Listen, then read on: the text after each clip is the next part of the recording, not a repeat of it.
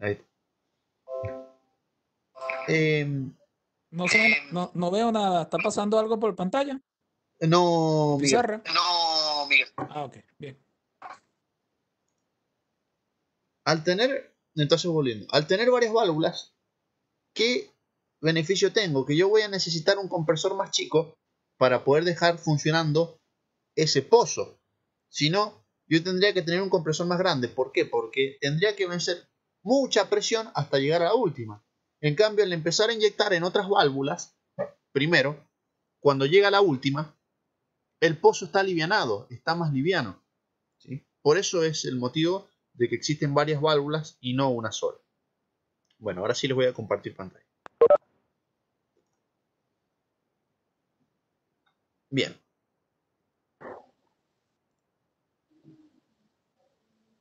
Bueno, vamos a empezar a, leer un poco la clasificación del gas. Nosotros, el del gas lift, perdón. Podemos clasificar el gas lift en gas lift continuo o gas lift intermitente. ¿Qué dice acá? El gas lift continuo dice que el gas se inyecta de manera continua. Esto cuando se hace, esto se hace cuando yo tengo una buena producción, cuando la capa está aportando constantemente. Entonces, yo inyecto gas por la última válvula y siempre voy a estar inyectando gas por la última válvula. ¿Se entiende?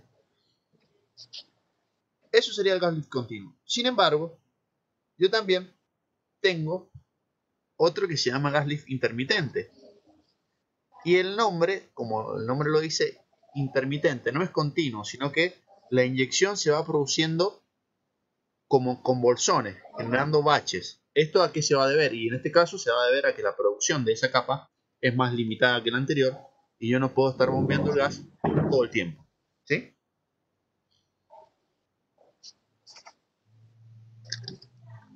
Bien. Esa primera clasificación que vimos 1 y 2 es una clasificación de la instalación que depende exclusivamente de, las propiedades del, del, reservorio, de la capa que yo voy a producir, del caudal que voy a producir. Sin embargo, también hay otra clasificación que es abierto, semicerrada y cerrada, que consiste, o sea que se clasifica así según la instalación. La primera era según la producción y esta otra clasificación es según la instalación. Fíjense en esta, la línea eh, azul y roja no significa nada. Bien. Sin embargo, en realidad no, es, un, dibujo nada más. Lo único que indica es que el, el gas lo están inyectando donde está la línea roja y, y la producción sale por la línea azul. Pero fíjense que acá yo no tengo mandriles, no tengo válvulas, tengo un tubing colgado nada más. Este sistema se llama abierto y no se utiliza. Antiguamente, tal vez en algún momento, cuando esto empezó, se empezó a usar así, pero ya después es ineficiente. porque Primero porque yo como si tuviese una sola válvula en el fondo, necesito mucha presión para llegar hasta el fondo. Y segundo porque el gas puede producirse un soplado que se llama. Yo inyecto gas y ingresa gas nada más. Gas, gas, gas, gas. Y sonamos. Se me canaliza el gas. Entonces por eso que no se utiliza. Después, la otra, que es una de las más utilizadas, la más utilizada, es la instalación semicerrada. Fíjense que empiezan a aparecer unos elementos que son, bueno, el tubing siempre va a estar, ¿no? Estas L's son las válvulas, y si hay válvulas, ¿qué otro elemento va a haber? ¿Cómo se llamaban las pancitas?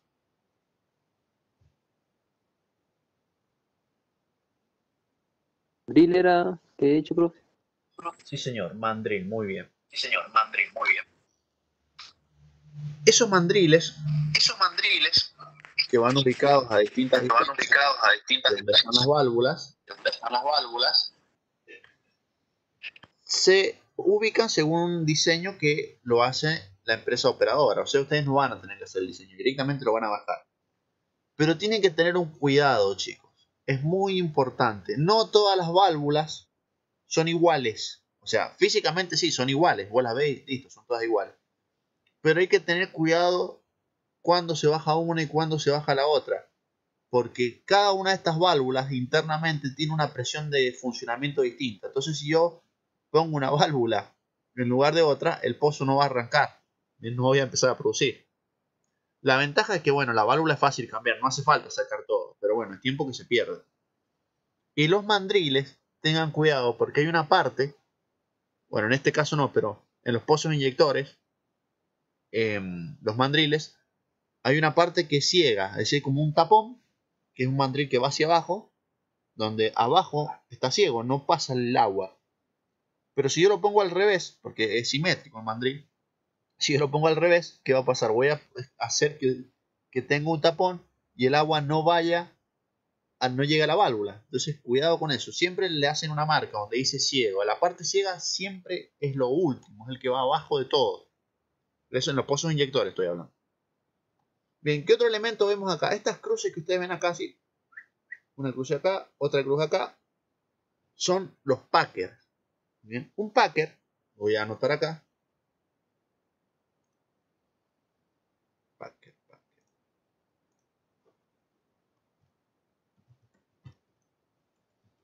Es un elemento que me aísla el espacio entre el tubing y casing. O sea que en esta zona que ustedes están viendo acá, por acá, por acá, no va a pasar líquido, ni de abajo hacia arriba, ni de arriba hacia abajo. Me lo aísla ese espacio. Entonces todo el gas no, va a fugar por acá, sino que se va a meter solo en las válvulas. ¿sí? Como la producción que viene por dentro del tubing. No se va a fugar al espacio, al espacio anular, sino que va a ir solo por el tubing. Eso es un packet. Aísla el espacio entre el tubing y el casing. Mientras que otro elemento, que bueno, acá no se ve, pero que se ocupa, es un tapón. El tapón, como dice el nombre, me deja me deja el pozo ciego, me lo deja cegado. O sea, es un tapón. ¿Y cómo se representa ese tapón? Bueno, el tapón, ahora lo voy a hacer un dibujito, porque lo van a ver en alguna ocasión. Se representa con una sola cruz grande. Uy, refiero, me salió, perdón chicos. Con una cruz grande se representa. Bien, eso es un tapón. El tapón es eso. Bien. Y va, el tapón va en el casing y el packer va entre el casing y el tubing puede ir entre el... También hay packer en, perforación, no se los he nombrado porque si no es mucho lo que hay para hablar. Pero bueno, un packer aísla eso, espacio anular. Puede ser entre tubing y casing, puede ser entre barra de sondeo y el pozo, o sea, entre la pared del pozo sin caño. Puede ser entre eh, la barra de sondeo y el, y el casing si ya he entubado una parte. Pero hace eso, el packer aísla el espacio anular entre el tubing, el casing, o entre la barra de sondeo y el pozo, o entre la barra de sondeo y casing. Ahí el espacio anular. Mientras que el tapón deja todo el pozo cegado. ¿Sí? Eh, se ocupan para muchas cosas. Hay packers que son descartables, packers que son, que son de ensayo, es decir, que yo los ocupo y los recupero porque son más costosos. Eh, ¿Cómo se fija un packer? fijar quiere decir dejarlo ahí agarradito. Depende. Hay packers que se fijan con presión, packers packer que se fijan tirando, packers que se fijan dando peso. Eh, hay muchos, muchos packers. Si hay packers eh, descartables que eh, se fijan con una bolita, después se bombea un ácido y se lo comen al packer y listo, yo no tengo que estar rotando ni nada de eso. O sea, hay muchos modelos, pero lo importante es distinguir, en, ustedes lo que tienen que ahora aprender es a diferenciar qué es un packer y qué es un tapón. Cómo se activa no importa, porque eso va a depender. Si ustedes trabajan en perforación van a ver que ese packer funciona así y siempre va a funcionar así. O va a haber alguien que le va a decir, mira, ese packer funciona así, o sea, se fija de esa manera. Pero lo importante es que distingan qué es un tapón y qué es un packer. ¿Bien? Bueno. ¿Quedó claro entonces eso?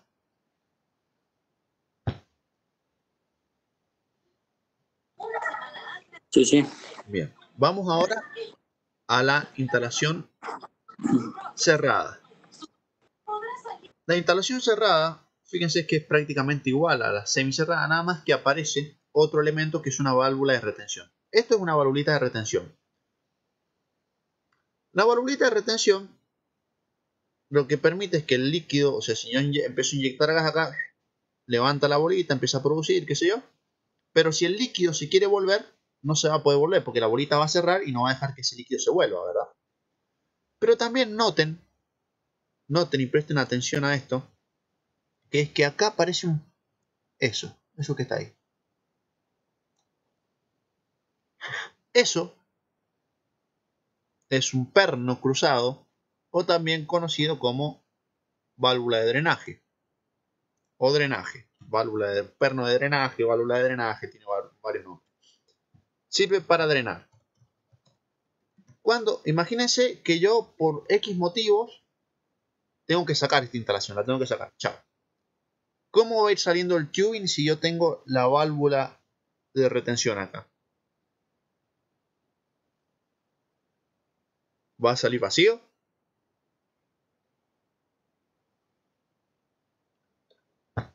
Va a salir lleno. Lleno. Claro, entonces eso es un desastre, porque imagínense que haya tenido petróleo, gas encapsulado ahí, un peligro para tanto trabajarlo como en cuanto al orden. Entonces, ¿qué es lo que se hace? Por dentro del tubing se tira un fierro, una jabalina, que le dicen que es un pedazo de fierro, pegan este perno de bronce, se parte el perno, ¿y qué sucede con el líquido? A medida que voy sacando ahora yo el, el, caño, sale por ahí y yo lo saco vacío. ¿Sí? Detalle. Muy importante. Fíjense dónde está el perno. ¿Está por encima o por debajo de la válvula de retención?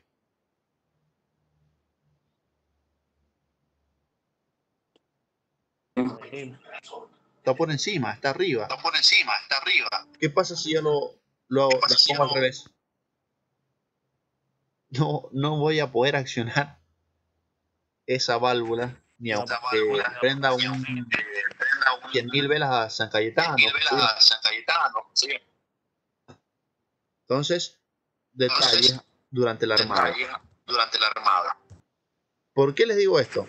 ¿Por qué les digo esto? Porque ustedes pueden trabajar desde, desde la operadora, donde van a, a inspeccionar y donde no van a armar, esto solo van a estar mirando. O pueden trabajar desde la parte de servicio, donde sí lo van a tener que armar. Entonces estos detallitos de fijar que una válvula de drenaje, dónde está el- eh, va por encima, va por debajo. Fíjense que no es gran ciencia, no hay que estudiárselo de memoria, hay que pensar. Si yo tengo un perno cruzado, ¿y para qué tengo ese perno cruzado? Y lo tengo para romper en el caso de que yo tenga que desarmar. Y va a ir por encima de la válvula de retención, nunca lo voy a poner por abajo. Son, es, es entender qué es eso, para qué sirve. Ah, si sirve para eso, entonces tengo que hacerlo así. Si sirve para aquello otro, ah, lo tengo que hacer de otra manera. Bien.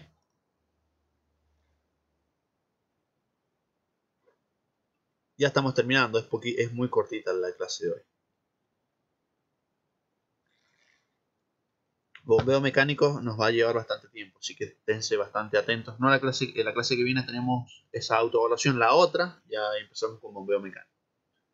Mandriles y válvulas. Estos son los mandriles que nosotros veíamos, donde está la pancita y en esa pancita va alojada esta válvula. Esta es la válvula que ustedes ven acá, que parece, para que ustedes tengan una noción del tamaño, esa válvula sería como, a ver, algo conocido, como un fibrón de pizarra, un poquito más gruesa y un poco más largo. Bien, obviamente que es todo de acero, que yo, de acero, tiene eh, un peso mayor. Bien. Esta valvulita tiene una ventaja muy importante. La ventaja que tiene es que yo la puedo sacar y meter del mandril sin necesidad de sacar todo. ¿Cómo voy a hacer esto? Bueno, esto lo hace alguien que se llama la compañía alambre. La compañía alambre es un camioncito que tiene un, puede ser un Forcito 350, que tiene un cablecito más finito, donde tiene una serie de aparatitos, todo bien mecánico, unas barritas de peso, que bajan por dentro del tubing estas válvulas y cuando llegan más o menos a cierta profundidad, los vagos empiezan ahí a jugar un poco, o sea, eh, bajan rápido, frenan de golpe y tratan de enganchar eso acá. Ah, El sistema que bajan tiene como un bracito, entonces les permite hacer eso. Una unión cardánica, un bracito, como un cardo. Entonces ustedes pueden calzar la válvula acá adentro sin la necesidad de eh, sacar todo. Esto de meter la válvula, sacar la válvula, también se hacen los pozos inyectores. Bien, y esto ya lo hace otra compañía más que es otra compañía tercerizada que sería de servicios, pero que ya no es un, no es un pooling. Esto, cambiar las válvulas no lo hace un pooling, porque no tiene sentido montar un pooling para algo tan sencillo. Bueno, tampoco es tan sencillo, pero para algo sencillo que lo podría hacer algo más chico. Entonces veamos cómo se va ampliando cada vez más nuestro campo. Las clasificaciones de las válvulas pueden ser válvulas hipo o válvulas PPO. Si bien está en inglés, esto solo me interesa que existen dos tipos de válvulas nada más. Eh, estas van a abrir o cerrar según la presión de inyección del gas. O sea, están del lado de la inyección. están, las dos se ubican del mismo lado, nada más que una para abrir o cerrar tiene en cuenta la presión del gas y la otra para abrir o cerrar tiene en cuenta la presión de producción, la que va por dentro. Supongamos que yo estoy inyectando gas por dentro, eh, gas por anular. Bien, entonces va a tener en cuenta esta válvula, la hipo, va a tener en cuenta la presión de ese gas. Y si fuese PPO, va a tener en cuenta la presión de inyección, o sea, perdón, la presión de producción, la que iría por dentro del tubing. Suponiendo que yo inyecto por anular. Bien. Estas fórmulas no tiene sentido que las vean. Bueno, y acá tenemos un esquema, y con esto terminamos el tema de gas lift, es súper cortita la clase de hoy. Tenemos un registrador de presión. Bien, bueno, estos registradores de presión, que ¿para qué sirven? Lo que hacen es automatizar, digamos, de alguna manera la inyección del gas. Hay válvulas neumáticas que abren un poco más, cierran un poco más para que haya más gas. En este caso, la línea de gas, fíjese por, por dónde estoy inyectando gas, por anular o por directa. Por anular. Viene por acá, va a bajar, va a empezar a meterse en esa primera válvula, después en esa segunda, después en la tercera, hasta que va a quedar en la última y va a seguir produciendo. Y va, y va a quedar en la última y va a producir, producir. ¿Y por dónde va a salir todo? Por la línea de flujo que va a ser por directa. Recuerden que puede ser por directa o por anular la inyección de gas. Es indistinto. Empacadura o packer. Bueno, empacadura es el nombre que le dan en la parte en Colombia, en Venezuela, creo que en México también le dicen empacadura. Nosotros usamos el término, somos realmente somos complicados. Esto tengo que reconocerlo. Eh, en otros países lo hacen más sencillo. O traducen todo o lo usan todo en inglés. Nosotros hacemos una mezcla. Algunas palabras las usamos en inglés, otras las traducimos y las traducimos a nuestro castellano. Entonces, bien. Empacadura, packer, es lo mismo, bien. Fíjense que ahí están las crucecitas que les decía. Bien. Otra cosa importante que quiero que se les quede, porque esto no lo vamos a ver después, eh, vamos a hablar, pero no lo vamos a ver, son los pozos inyectores. Recuerden que los pozos inyectores tienen una instalación muy similar, muy, muy similar a lo que sería el gas lift. Nada más que yo en vez de inyectar gas, estoy inyectando agua, pero no estoy inyectando agua para producir petróleo, estoy inyectando agua para que esa agua se meta en una capa y empuje el petróleo en otro pozo, pero no en el mismo pozo, ¿entienden? En este caso el gas lift, yo inyecto gas y se produce por el mismo pozo. Es como que estoy recirculando gas. Básicamente hago eso. Recirculo gas. Meto gas, lo saco, lo produzco, lo separo, lo limpio, lo vuelvo a meter. Bien, se lo vuelvo a producir con más gas, obvio. Eh, lo separo, lo trato, lo vuelvo a meter. Voy recirculando gas y me pongo a ver. Mientras que en, en un pozo inyector yo no recirculo nada, lo único que estoy haciendo es meter agua. Meto agua, meto agua, meto agua. Los pozos inyectores no producen petróleo. Los pozos con gas lift producen petróleo y o gas. Bien, esa es la diferencia. Las instalaciones son similares, a eso es lo que yo voy, son similares. ¿Por qué son similares? Porque va a haber un mandril y va a haber una válvula. Pero arriba ya cambian, arriba son distintas. Si no, Profe, le estoy hablando a él. Sí, ¿cuál era la diferencia? La, la diferencia entre gas lift Que los pozos pozo inyectores no producen petróleo. Claro, los pozos inyectores no producen petróleo. Bien, yo los ocupo para inyectar agua y que esa agua se meta a una capa para empujar petróleo que me ha quedado. Ese petróleo lo voy a sacar por otros pozos. Bien, Sí, sí, sí. mientras que en el gas lift yo voy a inyectar el gas en el mismo pozo y lo voy a sacar por el mismo pozo. O sea, lo- como que lo estoy recirculando. Meto gas, lo produzco, baja baterías al separador, se separa, lo trato, tomo de vuelta el gas, lo vuelvo a traer al pozo, lo vuelvo a inyectar, como que lo recirculo al gas. ¿Sí? ¿Se entiende? Entonces yo Ah, sí, sí. en gas inyecto gas y lo produzco en el mismo pozo y hago que ese pozo produzca. Pero en un pozo inyector no, yo, es otra cosa. Un pozo inyector yo inyecto agua y no voy a producir petróleo por ese pozo. Bien, voy a sacar un poco más de petróleo Claro. por otros pozos. ¿Por qué? Porque se conectan en la misma capa. ¿Se entiende? Sí, sí, ahora sí. Bien. Muchas gracias. No hay por qué. ¿Ven cómo se empieza a poner un poco más interesante esto? Bueno, a mí me gusta un poco más la parte de producción, por eso eh, me, me pongo a hablar mucho más de esto. Pero bueno, el tema, como les decía de Gaslift, es súper cortito. Ah, y les voy a mostrar un video antes de cortar. Hay un tema que no se los damos por, porque no, está, no es parte del programa. Bueno, che, che, que no me deja abrir la página. Vamos a poner, les voy a mostrar un en YouTube. Esto no se los evaluamos. No es muy común, pero existen. Hay varios pozos en Argentina con estos. O sea, es el menos, el sistema menos utilizado de todos. No, hay otro que también, que mucho menos. Que es el Plunger Lift. Plunger Lift. Es parecido al Gas Lift. Fíjense cómo funciona.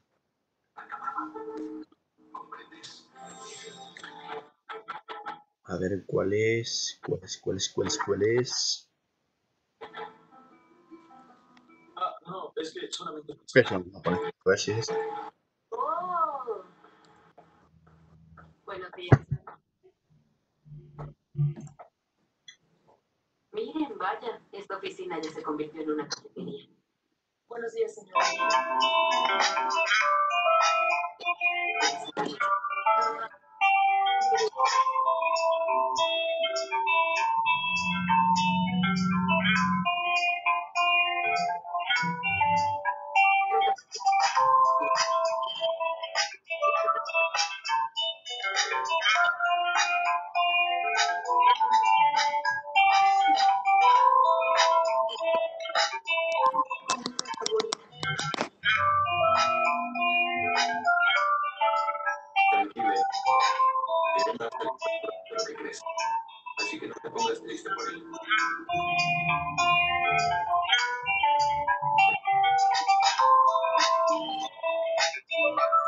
El Plunger Lift es un sistema utilizado eh, en pozos que producen mucho gas, pero que también tienen condensa líquido. Bien.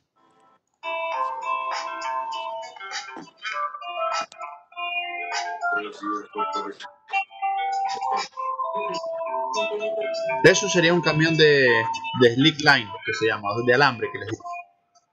Ojalá que sean buenas. Bajar. ¿El gas, caso, el gas hace que condense el líquido, profe? Perdón, no lo escuché. ¿Perdón? ¿El gas lift hace que se condensa el líquido? No, no, este es otro. Es otro sistema. El Plunger Lift es otro sistema.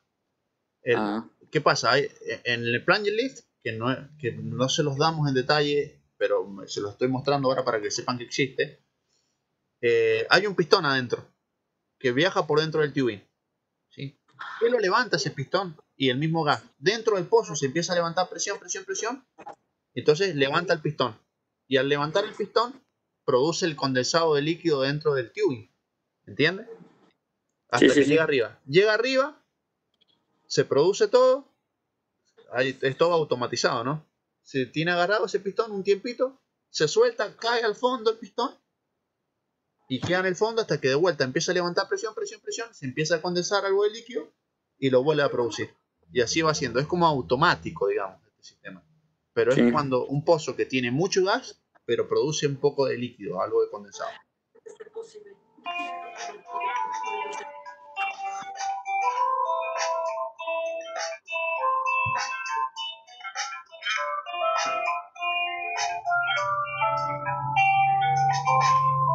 Ahí está el pistón que les digo.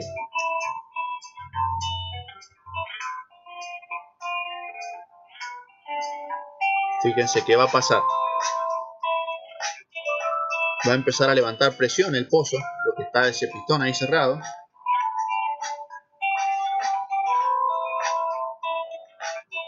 Bueno, a ver si lo muestran, creo que lo muestran.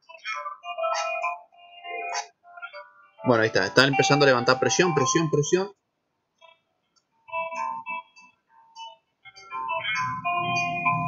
Hasta que va a esa presión va a hacer levantar el pistón.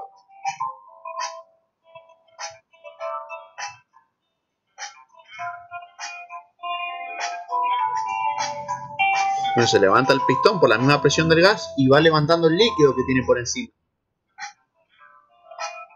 Bien. Es un pistón hueco que tiene una bolita, entonces el pistón pega arriba y cae una bolita y después cae el pistón. Esto es solo para mostrárselos que también existe otro sistema más. No es el más utilizado ni el más importante, pero bueno. No me lo vayan a mezclar con el gas lift. El gas lift es otra cosa, ese sí lo hemos visto en detalle, así que yo les voy a preguntar del gas lift.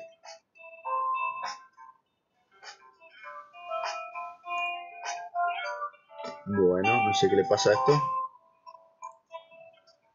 Ahí está. Bueno chicos, yo ahora voy a terminar el cuestionario gas lift y se los voy a subir para que ya les quede hecho. Para que ya lo puedan hacer, perdón. Así que calculenle que en una horita ya les voy a tener el cuestionario hecho. Eh, tómense un recreito si quieren y después se ponen a hacerlo. Así ya les queda listo para la autoevaluación de la semana que viene. Esta clase, como les digo, es cortita. La que viene también tenemos la autoevaluación, pero ya después eh, se pone más larga las clases. Así que por eso van a haber clases cortas, clases largas, pero bueno, siempre con, eh, respetando el cronograma establecido por el instituto, ¿no? Okay. Así que bueno, chicos, ¿algunas dudas les ha quedado al respecto? ¿Cómo estamos? Ah, profe, está bien.